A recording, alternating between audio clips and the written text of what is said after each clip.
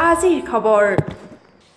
আজি দিনৰ প্ৰায় বাৰটা ত্ৰিছ বজাত কাজিৰঙাৰ গেলেকী অঞ্চলৰ এন আৰ এল পেট্ৰল পাম্পৰ সন্মুখত যোৰহাট অভিমুখী A S zero' one D B four seven five nine নম্বৰৰ দুজন আৰোহী অহা ফ'ৰ্ড ফিগ' গাড়ীৰে ৰখাই থোৱা A P two nine U নম্বৰৰ এখন ট্ৰাকক পিছফালৰ পৰা আহি খুন্দা মাৰে।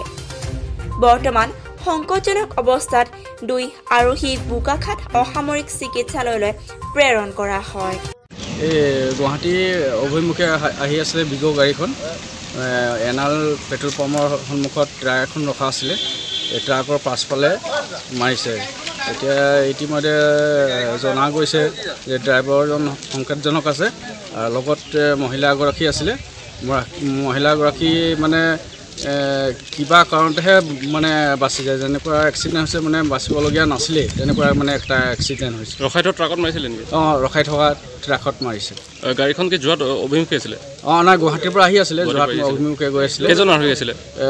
দুইজন আৰোহী আছিলে। বৰ্তমান তেওঁলোকক ক'লৈ নিয়া হৈছে? এ, বোকাহাট চিকিৎসালয় নিয়া হৈছে ইতিমধ্যে সংকটজনক অৱস্থাত আছে নেকি? শংকৰজনক ড্ৰাইভাৰজন মানে ড্ৰাইভাৰজন আছিলে।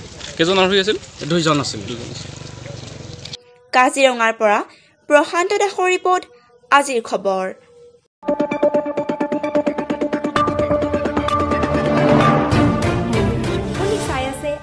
খবৰ।